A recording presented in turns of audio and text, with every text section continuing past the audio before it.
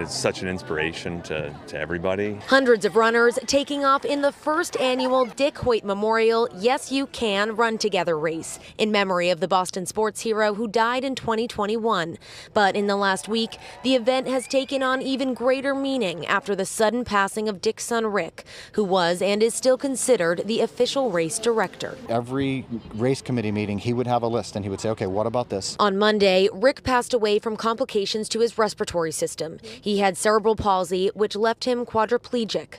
Dick pushed Rick in a wheelchair across thousands of finish lines, including 32 Boston marathons. For the Hoyt family, a race was the perfect way to honor him. And it had to be a five mile race because the first time Dad and Rick ever ran together, they ran a five mile race. Every time Rick said, Can I? the answer always came back, Yes, you can. That motto has inspired so many. That's the only reason why I run is because he enjoys it. He was very athletic uh, up until the age of 10 years old. He was hit by a drunk driver.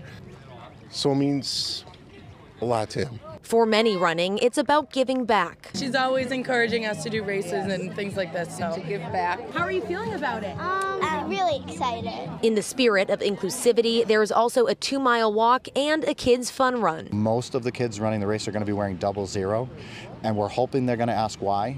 And the reason is is because the first time Dad and Rick ever ran together, Rick wore the number double zero. And everyone here knows Dick and Rick are looking down and cheering them on. Both of them done so much for the running community, open up the barriers. Uh, they're gonna live forever. Um, you know, so it's just a proper way to honor them. And everyone running today gets one of these special Yes You Can medals.